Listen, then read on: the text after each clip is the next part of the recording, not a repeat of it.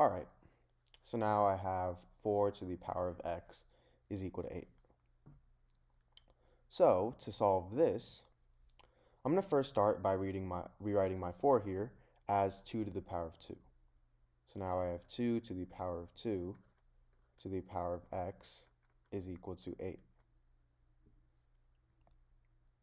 Now, if I have something in the form a to the power of m to the power of n, this is equal to a to the power of m times n. So 2 to the power of 2 to the power of x, that's going to equal 2 to the power of 2 times x, which is simply 2 to the power of 2x. So now I have 2 to the power of 2x is equal to 8. Now 8 I can rewrite as 2 to the power of 3. So now I have 2 to the power of 2x is equal to 2 to the power of 3. Now, if you guys already didn't know, if I have something in the form a to the power of m is equal to a to the power of n, this means that m is equal to n. So in this case, 2x, this is equal to 3. Now to solve this, all I have to do is simply divide both sides by 2. These two cancel out, and I'll be left with x is equal to 3 over 2. So this is one method of solving this problem. Now I actually have a second method of solving this problem. So again, I have 4 to the power of x equals 8. And now, I'm actually going to take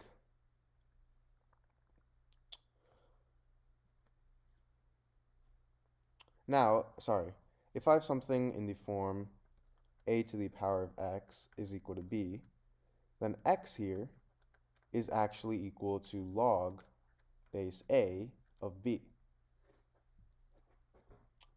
And I can actually go ahead and prove this as well. So if I start with 4 to the power of x is equal to 8, can go ahead and take the log on both sides. So I have log 4 to the power of x is equal to log 8. And now if I have something in the form log a to the power of b, I can actually move this exponent of b to the front, so this can equal b times log a. So I can move x to the front, so this would equal x times log 4 is equal to log 8.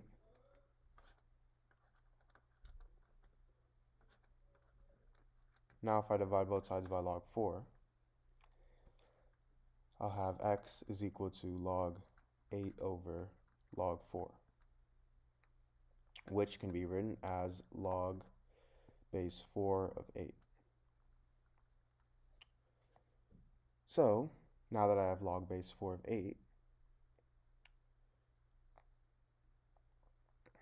I'm going to actually instead use this, this form, so log 8 over log 4. And log 8, that's simply equal to 2 to the power of 3.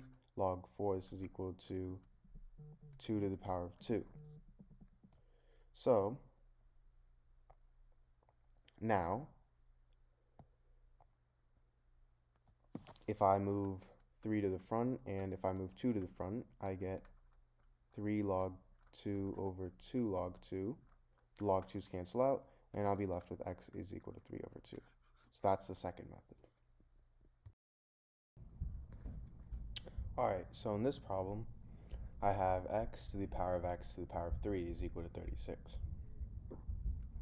So, to solve this problem, I'm going to start by taking the power of 3 on both sides.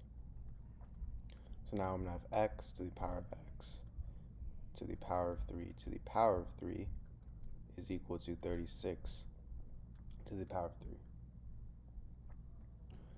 Now, if I have something in the form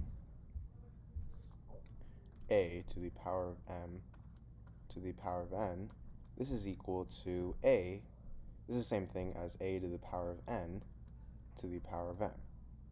So in this case, I have x to the power of x to the power of 3 to the power of 3. And we can think of x to the power of 3 here as m and 3 as n. So this is the same thing as a to the power of n to the power of m. So I can change the place of these two. So now this is the same thing as x to the power of 3 to the power of x to the power of 3. This is equal to still 36 to the power of 3. Now, 36 I can write as 6 to the power of 2. So now I have x to the power of 3 to the power of x to the power of 3 is equal to 6 to the power of 2 to the power of 3. Now, if I have something in the form a to the power of m to the power of n, this is also equal to a to the power of m times n. So 6 to the power of 2 to the power of 3, that's going to equal 6 to the power of 2 times 3, which is 6 to the power of 6. So now I have x to the power of 3 to the power of x to the power of 3 is equal to 6 to the power of 6. Now I'm going to let x to the power of 3 equal to the variable y. So now I have y to the power of y is equal to 6 to the power of 6. Now, if I have something in the form a to the power of a is equal to b to the power of b, this means that a is equal to b. So in this case, y is equal to 6. So now I'm going to go ahead and clear up some space.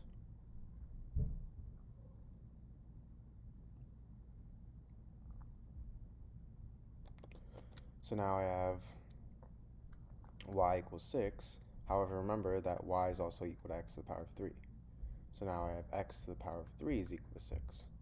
So now to solve this, I'm going to take the power, or sorry, I'm going to take the cube root on both sides. So now I have the cube root of x to the power of 3 is equal to the cube root of 6. Now the cube root of x to the power of 3 is simply x, so I am left with x is equal to cube root of 6. So this is my answer. Alright, so in this problem, I have x to the power of 4 minus 16 is equal to 0.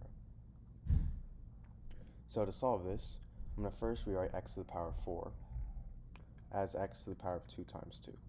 So now I have x to the power of 2 times 2 minus 4 to the power of 2 is equal to 0. I just simply rewrite 16 as 4 to the power of 2.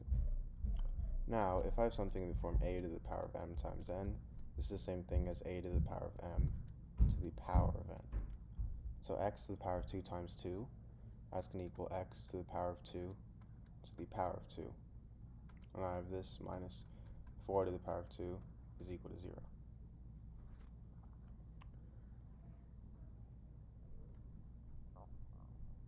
Now, if I have something in the form a squared minus b squared, this is equal to a plus b times a minus b. So in this case, a is equal to x to the power of 2, and b is equal to 4. So I have x to the power of 2 plus 4 times x to the power of 2 minus 4 is equal to 0. So now let me clear this up so I can make some more space.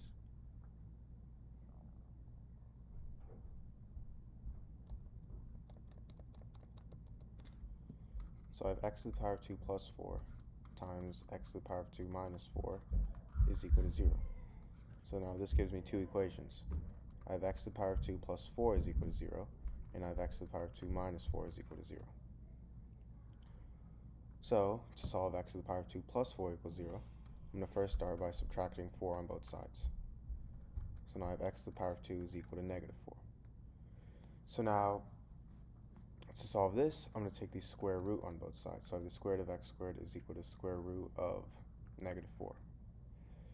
Now, the square root of negative 4, that can be written, at, or sorry, first off, the square root of x squared is simply x, and the square root of negative 4, that can be written as the square root of 4 times the square root of negative 1. So now the square root of 4, that's simply equal to positive or negative 2, and the square root of negative 1 is actually equal to the imaginary number i. So I have x is equal to the positive or negative 2i. So these are two solutions. Now for x squared minus 4 equals 0, to solve this, I'm going to simply add 4 on both sides.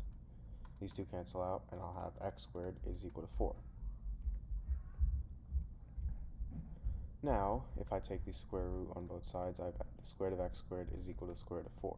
The square root of x squared is x, and the square root of 4 is equal to positive or negative 2. So my four solutions are x is equal to 2, x is equal to negative 2, x is equal to 2i, and x is equal to negative 2i. So this is my four solutions.